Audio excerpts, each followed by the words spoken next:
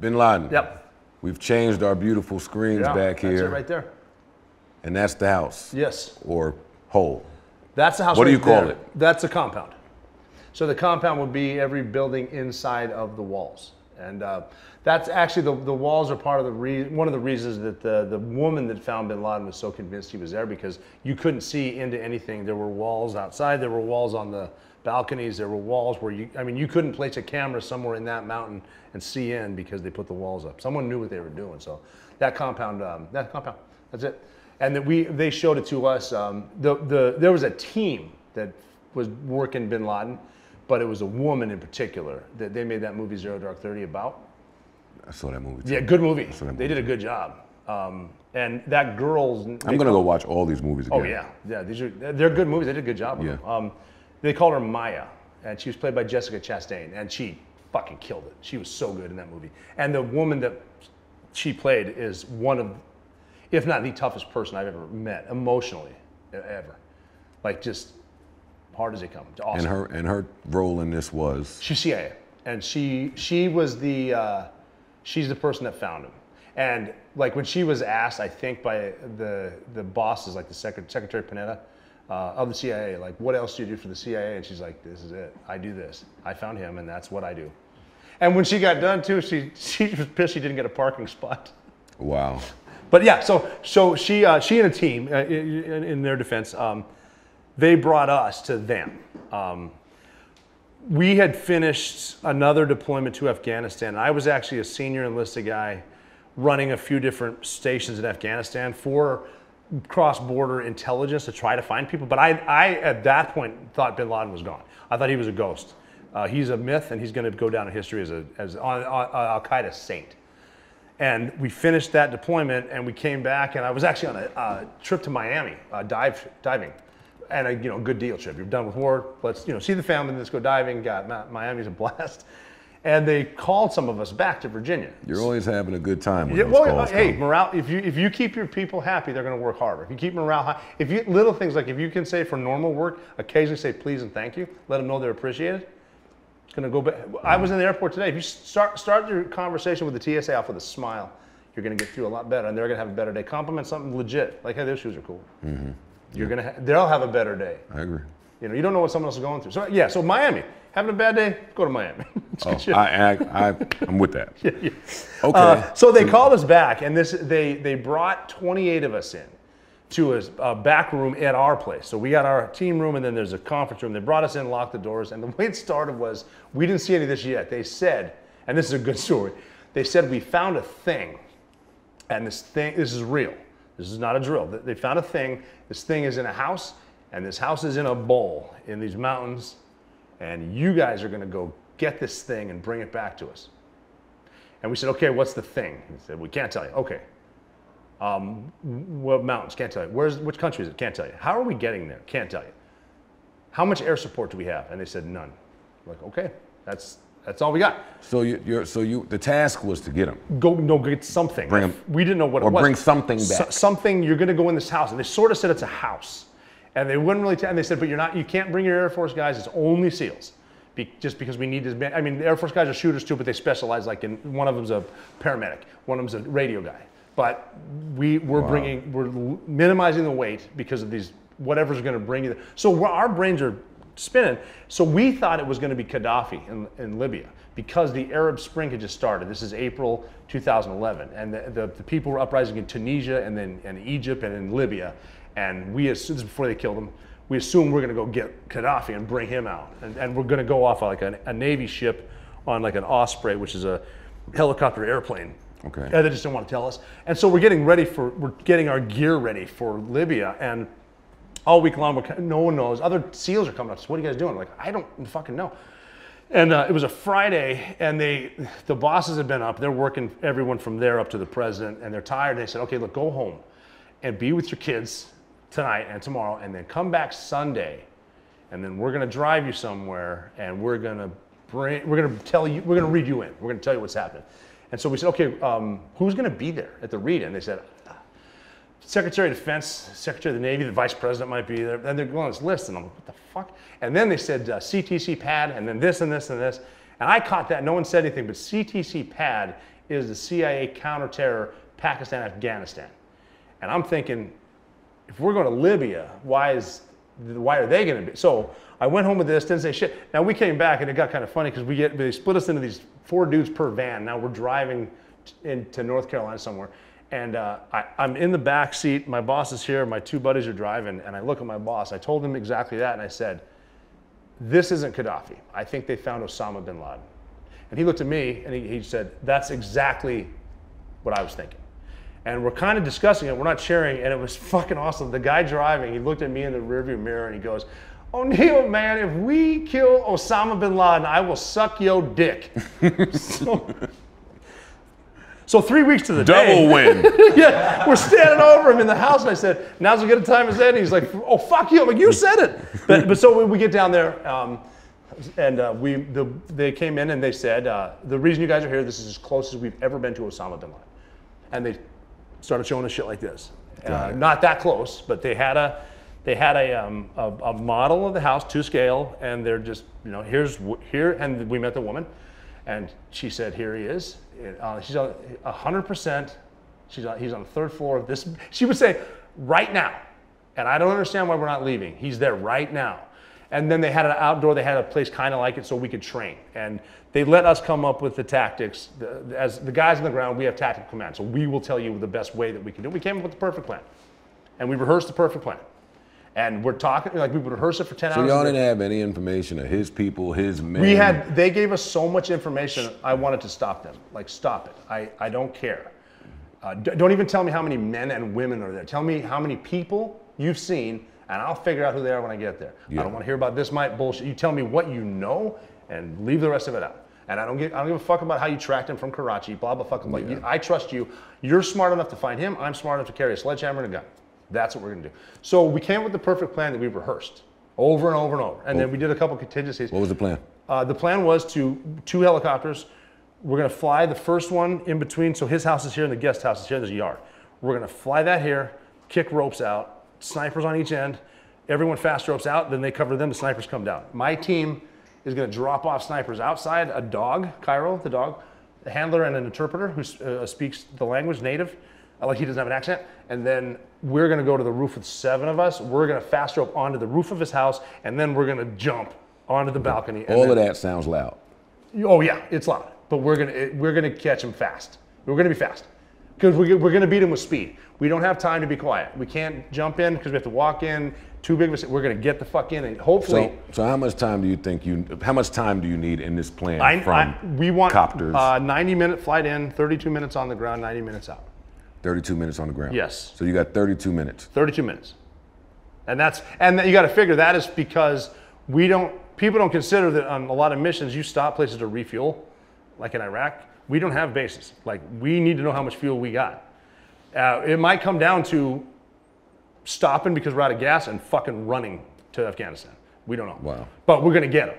So that that's we're gonna kill this dude. But but, but you got to figure. Well, So you're going to kill the guy. let me let me let me back up a second because we're doing the perfect plan. Okay. And it was crazy. We're, we're t- over the the um, the model, and the boss said, "What's the worst thing that could happen?" And the youngest guy in the room said, "The helicopter could crash in the front yard." Yeah. And we're like, "What the fuck? That's oh shit!" And that's exactly what happened. So uh, we're back there though, and uh, we can't tell anybody that we're leaving. Uh, and I got it. Like my daughter, who was four, is now seven, and she was always there. Uh, she was one when we went after Luttrell. She was four for Phillips, and now she's seven. This has been Laden, and this is one we're not coming home from, and we know it. We're going to get shot down on the way in because we don't know if these helicopters they're supposed to be stealth. We don't know if they work, and they have. This is not a third world country. They have They probably Russian or Chinese made uh, uh, anti-aircraft shit. We're going to get shot down. Well, why don't we have a cool helicopter then? I don't have any because the fucking aliens. I don't know. I don't know how the hell we got them. I've never seen it. The pilots who flew them had never seen them before. The president didn't know about them. Got it. Like they, they when they were telling President Obama about it, they, and they were going over the options. That I think like the chief of staff of the Air Force said there is one more thing, and he told. But um, uh, just the contingencies. We're gonna get in a fight as soon as we land. If anyone's gonna blow himself up, and the entire building, it's Bin Laden. And we're going to get in a fight probably with the police and the Pakistan military, or we're going to run out of gas. We are not coming home from this, guys. So get used to it. We were so convinced we weren't coming home the guy that inevitably led me up the stairs, the last set of stairs, and it was never drawn up that way. It's life happens around you. Like you make a plan, God laughs at you. Yeah. But he he just came, it, sometimes it just happens. He came up and said, "Don't- "Don't take this the wrong way. I'm going. Okay, 100% I'm going. I need to say this out loud. If we know we're going to die, why are we going?" And that's a fair question. So I, I actually went uh, shopping for my kids. Uh, I don't know what you buy three girls for daddy's not coming home, but I Yeah. bought stuff and I'm leaving. And now I'm at a point where um, it's uh, like I said, it's okay to be afraid because fear makes you think clearly. But I'm not afraid now. I'm focused. I know, but well, not too focused because on the way out, I'm carrying these things and I bumped into a sunglass hut in the mall. And I looked down and there's a pair of Prada sunglasses on sale, on sale for $240, right? And I'm thinking, I'm like, you know what? I'm a chief in the Navy. I can't afford these, but I am going to be dead next week and American Express can. YOLO. So yeah, exactly. Buy that shit. I carried them in. I carried them in Bin Laden's room. I carried them in my pocket because maybe we need to steal a car and drive to the embassy in Islamabad. and The sun's going to be up. I carry Prada sunglasses, You're, and I thought it'd be good marketing. Like imagine if you had a Navy SEAL on a billboard with like tattoos and a gun and sunglasses, and it says if you only have one day left to live, you might as well wear Prada. this guy's good, man. Haven't heard from him, but if you know a guy, so uh, uh, um, yeah. But so we knew that, and then uh, um, we they launched us over to to Jalalabad, Afghanistan, our team, and we already had a team there. Um, but they trained us up because it wouldn't raise any. Like if the team in Afghanistan stopped working and started training for something else, someone would notice.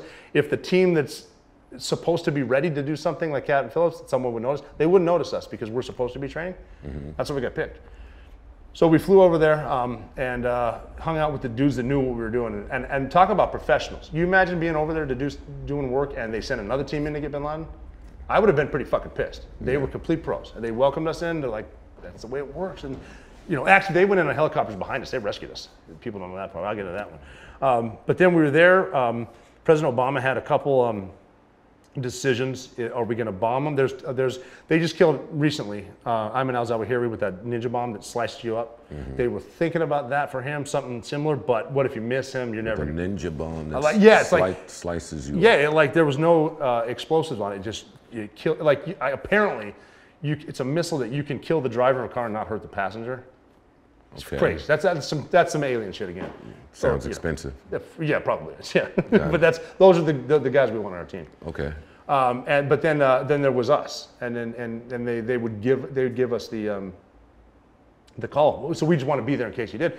And he decided on a Friday, we had two days of zero percent illumination with the moon. We want to go when it's completely dark. So we had two days that we could go, and we didn't go the first night because the correspondence dinner was that night. So the president and the cabinet are in D.C. with all the reporters having that dinner where they roast each other.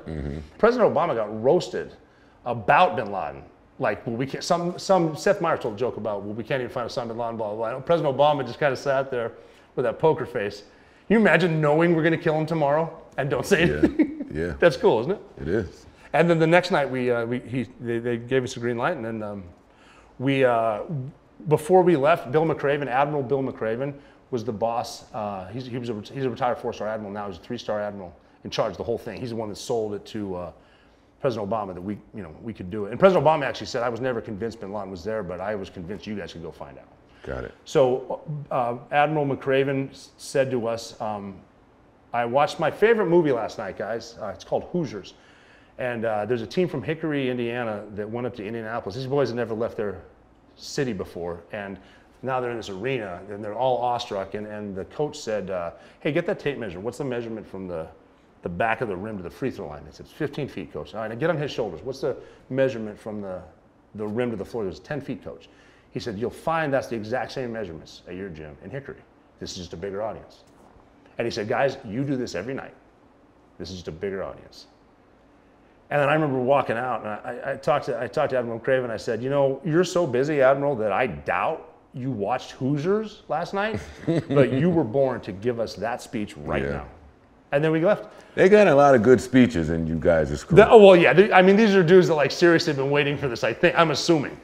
Um, and then we got on the helicopters. I'm with the, the sniper that that um, initiated the fire to rescue Phillips. He's here. He's going on the mission. We've got Cairo the dog, and we uh, we get in the helicopters. We you know, give each other hugs. You know, take your last piss. oh, Captain Phillips was there. No, no, no. The guy that the guy that oh. rescued him. Got it, No, got no. it, got Shit, that would have been funny. was gonna Can't tell. say. What the fuck? Let's see. What kind of line of work is he in? Okay. Uh, yeah, so, so uh, y'all got some. Y'all got guys out. there. Yeah, well, they picked the most experienced guys they could that were Yeah. available. That was us. Uh, uh, you know, 23 of us. And um, we got in these helicopters and we left. And then we, we crossed the border, and now we have 90 minutes where you can get shot down. But there's nothing you can do about it. So stop worrying about it. So I was counting, just counting to keep my mind. I looked over, and um, one of my buddies had fallen asleep with his headphones in. And I remember looking at my friend, I've known him for years, and I, I was like, You were asleep on the ride to Osama bin Laden's house. It's like you have ice in your veins, and I see why women find you attractive. That's fucking cold. Uh, and so I'm counting, and we banked to the south, 80 minutes in. And I, remember, I have a tattoo of the words here. I, I was uh, 556, 557. Freedom itself was attacked this morning by a faceless coward, and freedom will be defended. And I don't know how I remembered it, but it's like like a Hollywood moment. Fuck a count. I'm gonna say that again. Then freedom itself was attacked this morning by a faceless coward, and freedom will be defended. It starts to sink in. It's like, holy shit, I'm on this mission. And then we do one more bank uh, back on our attack run. The, the air crew guy, come, the crew chief, who did, gets no credit. There's there's dudes on the plane making sure it flies and opens the. What if we couldn't figure the doors out? That would Here's be, a dude- That would be me. I'm serious. fuck is this what thing? if yeah, like, we're ready to go and I can't get the fucking door. That that is a, that could happen. Mm-hmm. But he opens it and I look down and it's uh, there's there's lights, there's a city. I know there's a golf course. Like Abbottabad, Pakistan is a resort town, and I'm just the, the, the one thing that's kind of going through my mind is this is some serious Navy SEAL shit that we're about to do. And then the plan was, you know, I'm, we're behind them. We're in what's called dash two. They're dash one. They're going to hover. We're going to drop our guys off. We're going to go to the roof. That's how it's supposed to look. They came in here, and the pilot explained to me later that something with an updraft, uh, and it was warmer than we thought. He couldn't get the lift. The, the, the, the fences were different here than they were where we trained. He said that if he would have powered it up like an inexperienced pilot may have, he's going to roll it, and he's killing everyone on board. But and this is he thinks this this if he spins it and puts the tail on the fence and buries the nose, it'll stop. It should stop. That's what he thought, and he did it. Boom. And then, uh, so my pilot saw him do that, and he realized we have the four best pilots in the world. When we're very That lucky is we fly to Yeah. land to land the plane like the helicopter. Like Oh that. yeah. And he saw him do that. So we drop our guys off. We're going up. He saw that he couldn't hover. He's like, I bet I can't hover. So he put us down. And then I remember thinking, fuck it, I guess we start the war from here. And I put my foot out and I look up at Bin Laden's house. And knowing I'm looking at the side, I got the fence here. There's Bin Laden's house. I know damn well that's the northeast corner. There's a double door. I call a breacher, who's the, um, the methods of entry guy. He, he, he will get you in. He'll bomb it. He'll pick the lock. He'll fucking kick it open, whatever. He went up with a, a seven foot charge of C6 which is you know two bigger than C4, put it down and backed off, clacked it. It cracked open, and it, it was like a tin can with a, a brick wall behind it. Oh, we're making all the noise in the world. Oh, we're loud as fuck now, yes. And that's why the people started waking up. But they didn't know who we were. So um, he turns around and he said, failed breach, this is bad. Meaning the, the door didn't open, there's a brick wall. And I said, no, this is good. That's a fake door. Nobody does that. He's fucking in there. So I know there's another door over here that does open where the cars have been coming in and out. I didn't know they crashed. So I, I heard them saying over the radio, dash one going around, dash one going around, meaning dash one going around, like they took fire and they're going to reattack. Mm-hmm. What they were saying was dash one going down. Down. So I said a courtesy, I said to my call sign, hey, we're going to blast the carport, meaning I'm going to put a bomb on it. And they said, no, no, don't blow it, we'll open it. And the door opened and a thumb came out with a glove that I recognized, like someone Right. I know. That shit y'all Yep. figured out. And and I I didn't know what I realized. Right, there are points in life where it doesn't matter why you're here, you just are, and this is one of them. I don't need to know how you got there, man. You're just there. Fuck it, clock's moving. So we go in. I didn't know they crashed. Didn't make sense. We get guys have been in a gunfight. They already killed two in this house, one in that house. My guys are made entry in, in Bin Laden's house, so I'm like, I'm gonna follow these dudes in. And I, uh, when we're going down a hallway, you don't want to stand in a hallway whenever someone's shooting. And I hope no one's ever in that situation. but if someone starts shooting in your apartment building, get out of the hallway. Good advice. so Thanks. you're welcome. Wa- Watch me save a life because of that. So uh, I'm, I'm backing into a room, and, and, and my thought is I'm, I'm looking for bombs because they're going to blow the house up. I don't see any. But then I'm watching my, I'm behind, so I'm watching guys work, and they are not affected by the fact that they could blow up at any minute. Their lives could be over. Everything that matters to them could be over right now, but they're not letting them, that affect them because it doesn't matter. I'm not going to stop it. So slow is smooth, smooth is fast. If you want to be really fast at something, slow down. So I'm watching them. I'm like, this is. I'm watching dudes run across where we- we'd been in a gunfight to grab kids to put them with their parents. because they don't want this kid to be any more afraid than he already is. And that's what the good guys do. And I remember, I'm, I'm just proud of my guys. And this dude next to me who was in the helicopter the crash, he whispered, helicopter crash. Now we have two helicopters behind us that aren't stealth, 45 minutes behind us. I thought they got shot down. And I go, oh my God, what helicopter crashed? He goes, bro, our helicopter crashed. You walked right past it. I'm like, I was looking, fuck. As we're talking, the sniper, his job with Cairo, the dog, and, and Cheese, the handler, was to run around the whole place twice to make sure no one left. He got to the part where he, the pilot put the helicopter, and he mm-hmm. didn't know that they crashed. So he came over the radio, and I'm not kidding, and said, uh, guys inside, be on alert. They're ready for us. They have a training mock up of our super secret helicopter in the front yard. And the boss, the boss came over and said, no, jackass, that's ours. We crashed. And the sniper said, that makes a lot more sense than the shit I was Yeah. just saying. Definitely. Yeah, so then we, so the guys are doing stuff. The woman that found bin Laden said, um, I don't know what it looks like inside, and I know you don't, you don't want me to tell you what you th- we think it looks like inside, but you will run into a stairwell somewhere.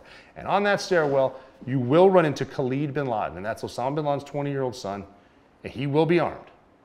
And that's his last line of defense. And she was so cool, she said, if you can ace him, you get a shot at the big guy. That's the way she said it, and I thought that was fucking cool. So when they ran into him, I'm about, I'm about uh, eight dudes back, watching the guys in front of me go up the stair, and the stairwell came back, and Khalid was there, and he hopped behind this banister.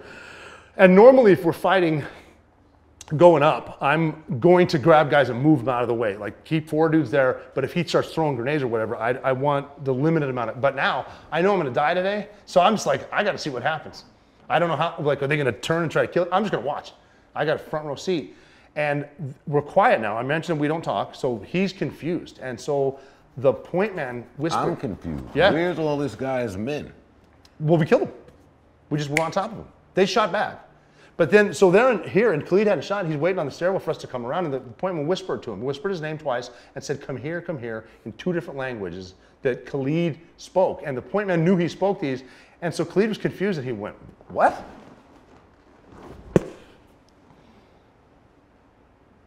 That's some cold shit. So we uh, No, stop it. Stop right there. So at that point, you got to block out all your dad emotions, all of your. You just got to. Mm-hmm. That's not helping you at all. You gotta, you gotta cut that out. Yeah. That's that's not, wrong time. I'm thinking about Not the time I'm thinking about the guy in front of me and what's what's in front of us. Yeah, and what's behind us. I don't I don't I don't have time to worry about the, the credit card bills, the Prada sunglasses I just bought. the guy. So Khalid pokes his head out. Yep. He's got he's armed now too, so he's a threat. Like this is well with not that anyone and he's gives a armed. fuck. And he's armed, but a face shot doesn't sound fun. No, Witnessing one doesn't Now- sound fun for me. it's not fun, The but noise, the, but brain you uh, matter. you um you have to assume this was a very very high threat level, and you've got to assume, especially around Bin Laden, they're suicide bombers. And the only way to deal with a suicide bomber is to shoot him right here, right around this area, to get him back here, because that will drop you. If you shoot someone in the chest, people have this is fucked up, but people have a will to live. And it takes them a while to die getting shot in the chest. And they can, cla- all they need to do, let's say they have a positive and a negative lead on the, and there's a bomb here, all they need to do is this.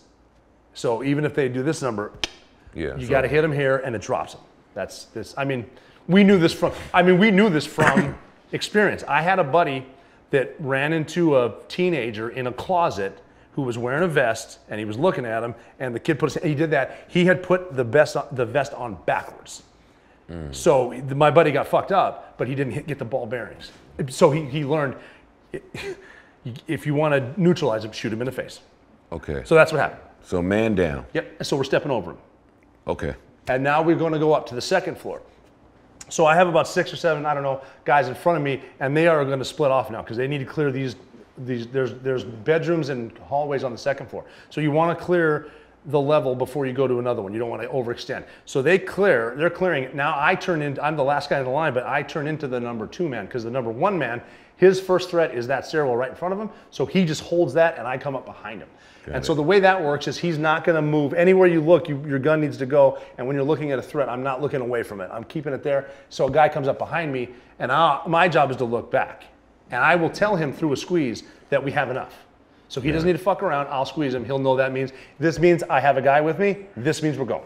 So I got him like this, and we're out of guys. and I want two more because he's looking. He already he'd already taken a shot uh, before I got there, and um, Your man? yeah, my guy took a shot up the stairs. Got it. Yeah, and uh, I don't, you know, that's for him to tell his story. Of course. Um, um, complete badass.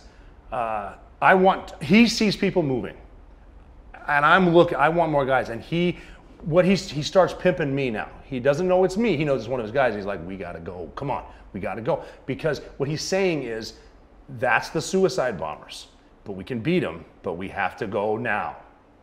And this is this is my side of the story, but I'm pretty sure what he said was, "Hey man, these bitches is getting truculent." Truculent. I enjoy humor. This is my last joke of my life. I before I squeeze him, I whispered in his ear, "I don't think that word means what you think it means." And then I squeeze him, and it's on. So we go up the stairs, and what there is at the top of the stairs, there's a curtain, not a door. It's like a like a shower curtain, but it's green. So it's, uh, you can't see through it. You sort of see under it. So he moves the curtain, and there's two people standing there that he thought were suicide bombers. So he jumped on them to, to like how this guy doesn't have a medal of honor i don't know because he jumped on the grenade like the, the, he's absorbing the the blast for me Got it. so because i said how simple it is if you go this way i'm going that way because he went here i went here and there's osama bin laden and he's standing up uh, he's got his hands on his wife amal's shoulders i'm closer to him than we are right now and uh, the way my brain worked was um, He's taller than I thought. He's a lot skinnier than I thought he would be. That's his beard's got some gray in it. That's his nose. That's his face. He's maneuvering. He's not surrendering. He's a threat. He's a suicide. And I shot him. So I shot him twice in the face over a Amal's shoulder, and I shot him again as I'm moving a Amal. So he's down here now, and I can hear him exhaling. He's he's dead. I mean, I know what it's like, and it's you know, I don't give a fuck who you are. That I just killed a guy in front of his family. That's I moved his kid. I pushed them back, and but, so I'm moving them out of the way uh, because I know other SEALs are going to be coming in, and I, and we're the good guys. I don't want them getting hurt. As I do, other Navy SEALs now in the room, and I'm sort of standing there. And I know I've been at war a lot, but now I'm having a moment, and uh, one of my guys comes. I'm just standing. My guy comes up to me, the, the same guy that uh, was in the van, the joke, and he goes, "You okay?" And I said, "No." Um, what do we do now? And he said, now we find the computers. We do this every night. You've done this hundreds of times. And I said, yeah, you're right. I'm back. And he goes, yeah, you just killed Osama bin Laden. Your life should change. Get to fucking work. All right. So we got to work. We took a picture. The, if they ever released this picture, which I wish they would, um, those are my gloves holding his head together. Like I spilled water on his face and I held his head. We got some pictures. Then uh, um, they're starting to put him in a body bag. I'm going to go downstairs because I know there's there's now three offices. So we go through there. Uh, I'm uh, we call it sensitive site exploitation. Like that's where you find intelligence to get other people. Uh, so I'm looking for any. You start here, work your way up, or whatever.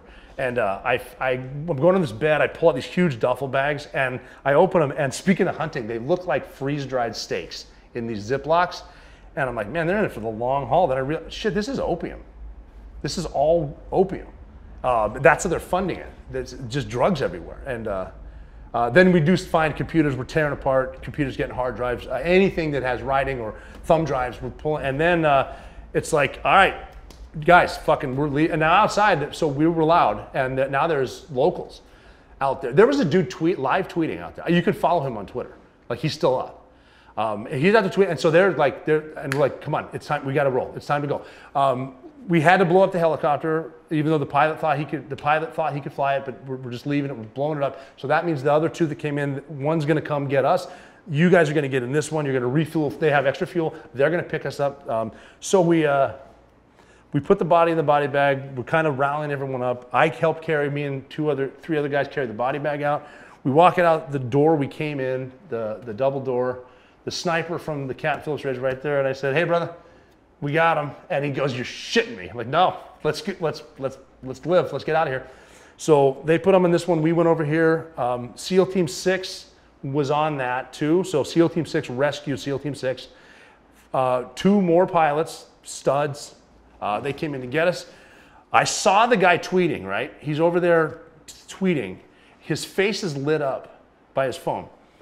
And I was, I had a minute. I was thinking, um, in a war zone, I'm shooting him because he, we just took that house down. We just blew a bunch of stuff up, and he's got, he's he's going to blow something up. I got to kill him. I'm not shooting this guy because uh, I, I kind of smiled. I said, they have no idea we're here.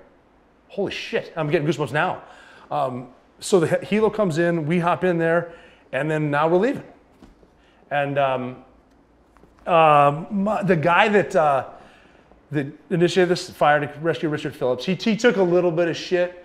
Like I'm sure you've seen it in the music industry. If someone does really well, other guys are like, "Fuck him," like get a little jealous. Please, that's the music business. Yeah, and that's us.